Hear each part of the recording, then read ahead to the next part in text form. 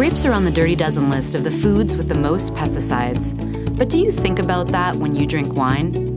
We traveled to Ampelos Cellars to learn how they're growing organic grapes to help keep dangerous chemicals out of your wine glass. Now, I love your wine because it is organic and biodynamic and sustainable. That's amazing. There aren't many wines out there, and obviously, you're the first in the United States to grow that way. What made you want to grow organic, first of all? So, I think a part of it just was that we moved in here and we opened the windows at night and you're breathing, and then you see tractors are driving around with sprayer rigs. And what are they spraying out there? And you see that there's uh, crossbones and skulls and no entry for four days. And you're like, hang on a second, my horses live down here, my dogs are right here. We're, I mean, you're worried about what is it you put in your body? What are you breathing there? Now, there was one other thing I wanted to ask you. It's about the certain chemicals that are in used in growing grapes when people are growing them conventionally. I was looking this up online and trying to figure out more information about it, but not much is published about it. So you mentioned um, Roundup that's used as a, uh, herbicide. What are some of the others that you know of in conventional grape growing that uh, you know you wouldn't use as an organic and biodynamic? Yes, so they're, they're the aspects of the grape growing where there are just a bunch of you know bad pesticides that you can spray out and put poison out to kill some of the the pest-like critters out there. But the other part of it is what you can do in a winery.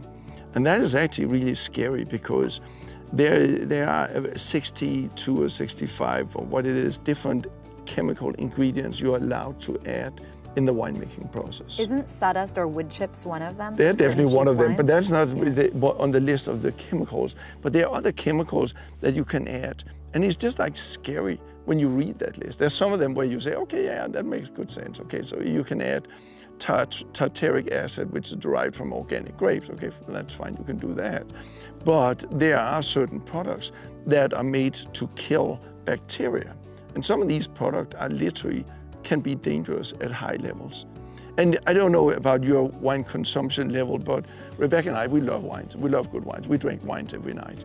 And we sometimes go out to friends' places and they'll say, oh, I don't have good wines, but uh, let's try some of this. And we're always a little bit worried about that yeah. because sometimes, you know, you've been out there and you just had two glasses of wine, you didn't really care much about the wine. So you had two glasses of wine and you wake up the next day and you got that headache up yes. here. You're like, what the heck? I didn't drink five glasses, I only had two glasses. Why do I get a headache out That's of this? And the reason is because there was a chemical that was put in by the winemaker along the way and some of these chemicals are really bad for you. They can cause headaches. They can be bad for your body. That was one of the questions that I wanted to ask because I know when I drink organic wine like yours and uh, from some other organic producers, I never feel that horrible feeling when you wake up in the morning and I can feel that like you said from one or two glasses of other wine so it is it has to be the chemicals that are in there and that's what started to get me to really think about it and it's it's interesting when you drink organic wine you won't generally feel that way. Um, when it comes to there was something that you mentioned to me in a chemical. Is it DMDC? Uh, Dimethyl dicarbonate, DMDC. Is that something that conventional wine Nasty stuff. Okay. Methyl is uh, basically a poisonous alcohol. And that's something that in high dosage that you can go blind from, you can die from. What does it do for the wine that's beneficial that the conventional? Kills bacteria. Ah. So if for whatever reason there's some problems with the wine, and again, I don't know because I've never used it, and thanks goodness i will never use it. But my understanding is that wineries, winemakers will make decisions to add it to the wine to make sure that nothing goes bad with the wine at a later point in time in the bottle. Got it. So I view it more as an insurance policy because you've been a lazy farmer or you've been a lazy winemaker along the way. So, Peter, tell us about some of the herbicides that conventional wine growers can use. Yeah, the traditional method is you got soil, you got rain coming down, you got sunshine, you got winds, and what happens is, is that the weeds will start growing. You don't want weeds under your vine, they're competing with the vines for nutrients and for water, etc. So you want to get rid of the weeds. The easy way to do that is you spray a herbicide. Herbicide, Roundup, we all know about Roundup, you can buy it down at Home Depot. The problem with it is that the active ingredient in Roundup is glyphosate. Glyphosate can now be proven they can be traced into wine that is made from vineyards where they applied Roundup.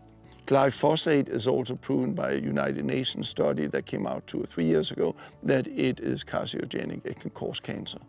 So therefore, I'm not saying that if you drink a bottle of wine from a vineyard where they sprayed Roundup, you'll get cancer tomorrow. But it is just one way if you want to avoid that risk in your life. Avoid wines that's made from vineyards where they applied herbicides. Well, you can really feel the energy out in your mm-hmm. vineyards, and I love that what you told us about controlling pests such as rodents and insects. Can you tell us you're using rather than just spraying? You know, harsh chemicals. You are using some natural methodology. Yeah. Tell me how you control the gophers. It, it's just fascinating because you want to build a partnership with Mother Nature. You don't want to control it the plants, the soil are communicating to you. And you got to learn to work together with it all. And you have some problems out there that you want to control. So for instance, we got gophers. What can you do with gophers? You can put a bunch of poison down in the soil.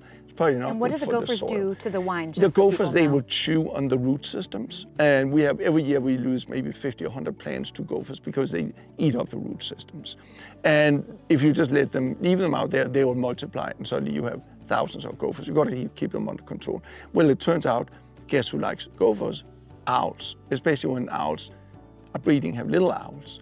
Wow. And they're so quiet, they're amazing critters. So, you know, that, that's, I think, is one great example of avoiding putting a bunch of uh, pests out there, avoiding putting chemicals, putting poison in the ground. What about if a, a, a, a gopher dies from that and my dog finds a gopher and runs around and chews on it and it's been poisoned, what's it going to do? Right.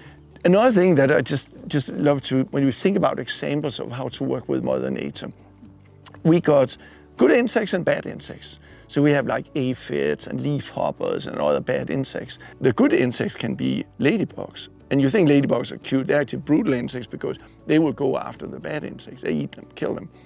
So we want to have ladybugs here. So therefore what we do is we encourage their habitat.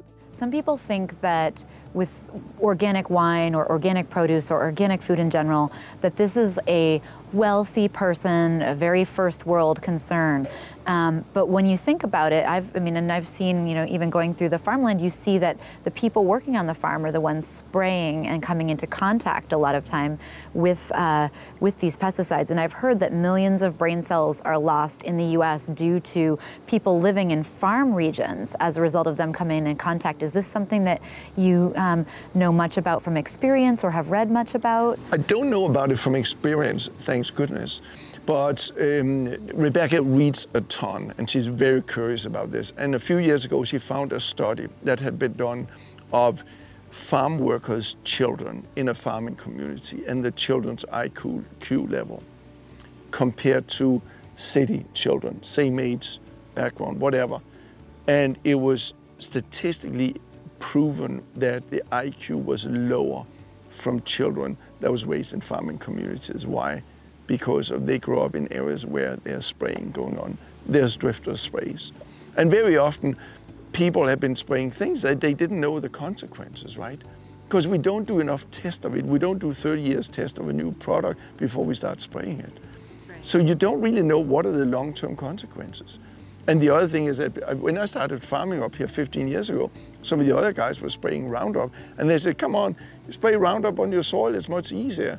You can't even, you, you can't trace it into the vine. It doesn't even get in the grapes. Well, now it's proven it gets into the wine, actually.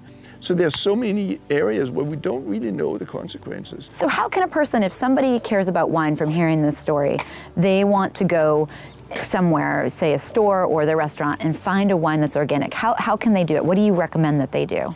So the first thing is, again, look for the stamps on it, the, the symbols.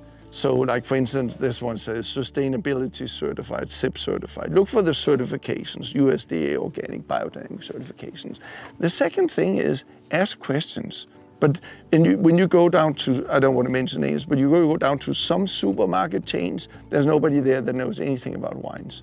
There are other higher end supermarket chains where they have a wine specialist that knows about the wines. Or even better, go down to the little wine shop down on the corner that does wine and beer and liquor, where there hopefully is a guy that really knows about his, his wines. There are a lot of those little mom and pop shops, and they're great to support them. Well, thank you all so much for joining us, and thank you, Peter. Hey, thanks so much for coming up here and joining afternoon. us. Absolutely. Cheers, guys.